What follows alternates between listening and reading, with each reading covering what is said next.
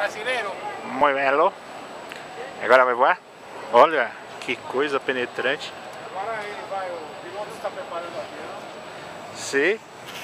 Pega daqui, ó, que você vai ver o planador vai descer a rampa. Ó, que corra é para aumentar a velocidade de saída. Muito belo.